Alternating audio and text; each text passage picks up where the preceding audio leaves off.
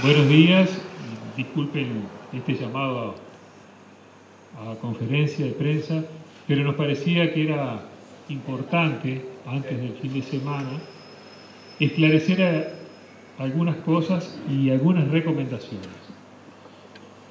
En primer lugar, en abril se decretó el cese de la emergencia sanitaria que tiene algunas implicaciones desde el punto de vista administrativo y de recursos eh, financieros en la forma que se disponen los mismos.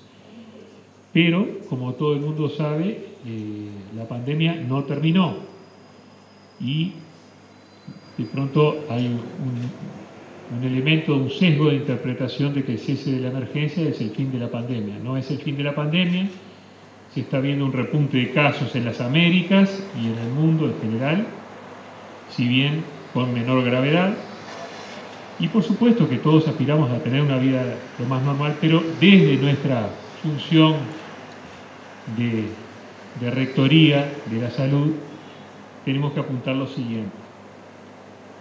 Del lunes al jueves de la semana pasada tuvimos 1.172 nuevos casos. Y del lunes al jueves de esta semana llevamos contabilizados 2.616 casos.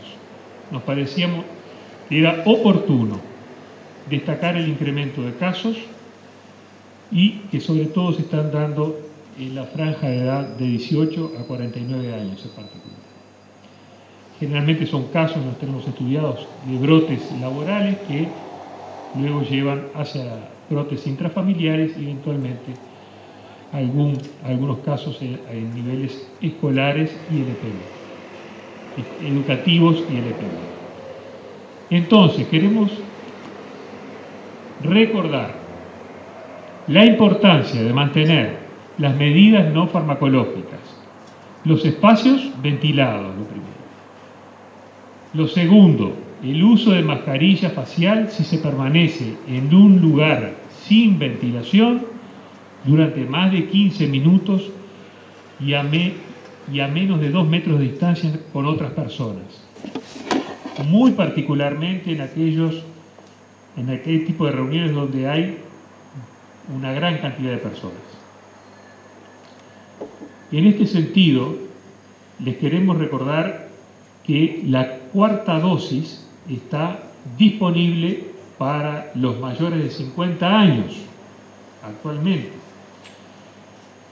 Pero primeramente queremos exhortar, porque realmente de los de la tercera dosis, de los que se podían dar la tercera dosis, es decir, el refuerzo con tercera dosis con Pfizer, se inmunizaron el 83%. Quiere decir que hay un 17% aún de personas que recibieron dos dosis y no han recibido la tercera dosis. Exhortamos a dar la tercera dosis. Y en cuanto a esta prevalencia, queremos tomar una medida oportuna en el tiempo y disponibilizar la cuarta dosis para la franja de 18 a 49 años en pacientes con comorbilidades y que hayan recibido de las plataformas Sinovac, Sinovac, Pfizer. Es decir, aquellas personas que tienen dos de Sinovac y una de Pfizer de 18 a 49 años y con comorbilidades, recomendamos dar la cuarta dosis. Son 809.000 personas de 18 a 49 años que eh, tienen tres dosis de Sinovac, Sinovac, Pfizer. No todas ellas con comorbilidad, pero ese es el número máximo. Nosotros estimamos desde el punto de vista de,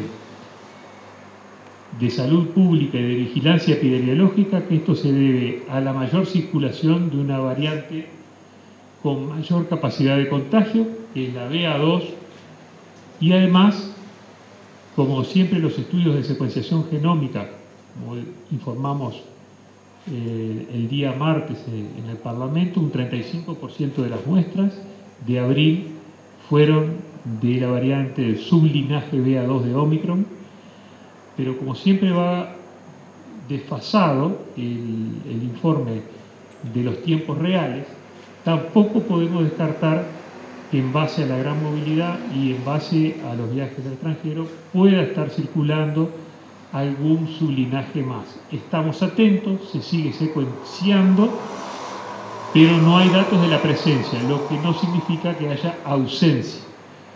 Entonces, eso nos parece importante. Es decir, que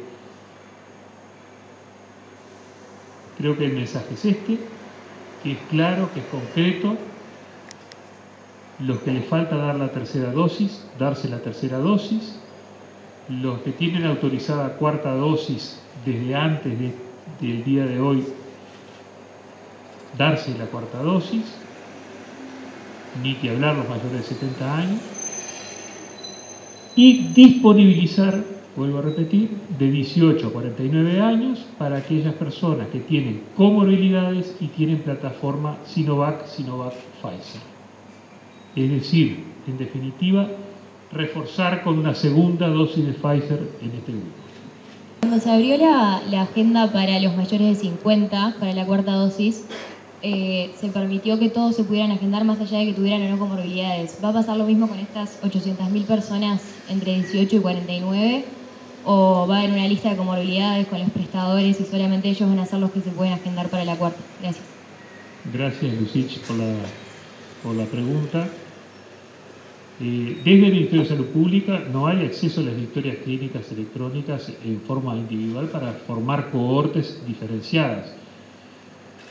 La, la frase del presidente de la libertad responsable aquí es la, la responsabilidad responsable, es decir, cada uno sabe si tiene o no tiene las comorbilidades y si está dentro de los parámetros para dársela. Mm, es así que no se va a ejercer un control sobre si tiene o no tiene las comorbilidades.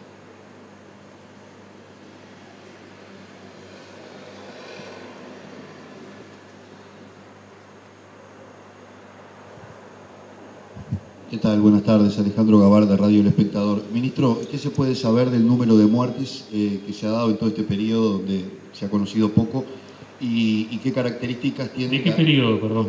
Ahora, en esta última etapa. ¿Qué etapa? En esta que no se ha dado la información, o por lo menos no se ha conocido. Se está dando semanalmente, señor. Bueno, está bien. Lo que le quiero preguntar es lo siguiente. Le puedo decir de los últimos cuatro días, en todo caso, porque la última está actualizada. Está bien. Eh, con respecto a eso, quería preguntarle también si existe, eh, bueno, una eh, coincidencia en cuanto a las edades, cuál es la característica de las personas que están falleciendo por estos días. Sí, son personas mayores. Eh, en el, mes de abril, en el mes de abril, la mortalidad, vamos a hablar, le puedo dar varios datos, pero en el mes de abril, de 70 y más años, fallecieron 11 personas sin vacunar y con Sinovac, Sinovac, Pfizer, una persona con comorbilidades. ¿Está bien? De 50 a 69 años falleció una persona con Sinovac, Sinovac. Y de 18 a 49 ningún fallecido. Pero, si nos vamos a referir eh, doctor Alfonso, el cierre del informe, eh, el último informe, ¿a qué, ¿a qué, día fue exactamente?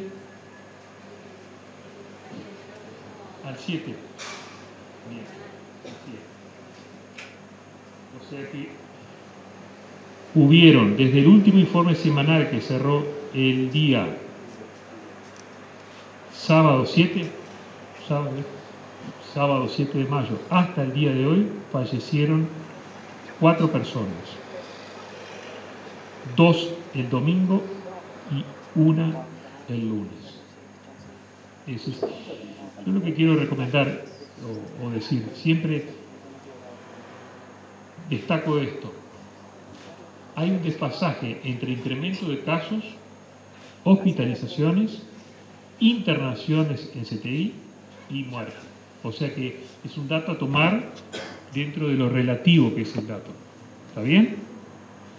Eh, lo que sí podemos decir es que también mientras la semana pasada venía bajando el porcentaje de positividad, esta semana ha ido aumentando. Estamos adelantando el informe que vamos a dar, que aparte damos día, damos los siete días consolidados, pero desagregamos por día los casos y demás, y los porcentajes de positividad.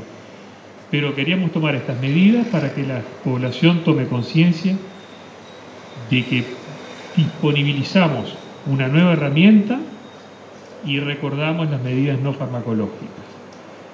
Eh, en definitiva, tenemos un porcentaje bajo de camas de CTI ocupadas y, eh, por supuesto, las muertes se mantienen afortunadamente en un nivel de baja incidencia.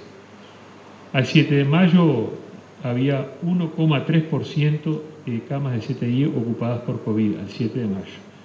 Pero esto siempre es dinámico y va, como digo, con rezago. Si hay aumento de casos, habitualmente le sigue un incremento de hospitalización, un incremento de CTI. Muchas gracias por la pregunta. Buen día, Fabián Cardoso de Canal 5. Primero, reafirmar desde cuándo queda habilitada esa cuarta dosis, desde qué momento. Y la otra pregunta es conocer detalles de, esta variante que usted dice que ahora es la que predomina, es la predominante. ¿Qué se puede es el 35%. Es, el 35%. El 65% es el sublinaje BA1 y el 35% es el BA2. es, esa es la proporción. No es que predomine, pero cuando se instala una nueva...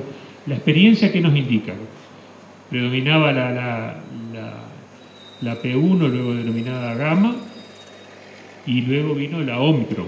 Acá prácticamente no se detectó la Delta. Eh, se detectó, pero no alcanzó a, imponerse como variante. Y el sublinaje de Omicron BA2 es la que está creciendo, vamos a decir así, ¿no? Es decir, no podemos hacer este, futurología, pero la experiencia nos indica que si creció de un informe a otro de un, de un 3, 4%, un 35%, es la que está circulando más, valga decir. Eh, en cuanto a las características de, este sublinaje, podríamos darle la palabra al, doctor Pelufo, director de inmunizaciones, a los efectos de que la caracterice, pero adelanto que no hay mayores variantes clínicas. Buenos días, gracias señor ministro. Con respecto a, esta variante, lo que sí destaca es su transmisibilidad, ¿verdad? que es mucho mayor que las anteriores, que vienen avanzando justamente en esa, en esa característica. Desde el punto de vista de la presentación clínica, siempre es eh, a modo condicional lo que voy a decir, pero eh, lo esperable, por lo menos lo que está ocurriendo en otros países, es por el momento un desfasaje entre la cantidad de casos y casos graves y mortalidad.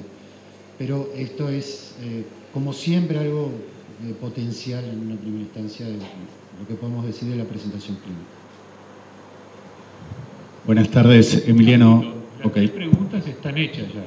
Eh, ¿Una más? Ah, no, porque quedó algo pendiente del periodista que, que fue parcialmente respondida. El, el subsecretario Sajian va a complementarla. Gracias, ministro. Buenos días para todos. La pregunta era en cuánto se podía abrir la agenda, cuándo se iba a abrir la agenda.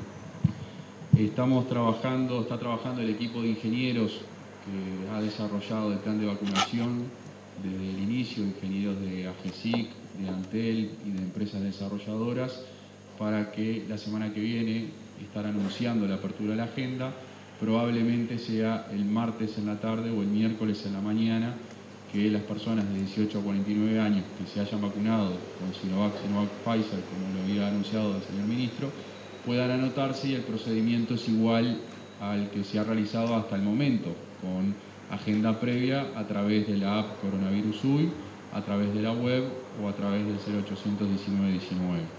Va a ser la vacunación de la misma forma que hasta ahora, en los vacunatorios ya indicados y eh, se va a estar dando hora para la semana siguiente de acuerdo a las disponibilidades que haya en cada vacunatorio.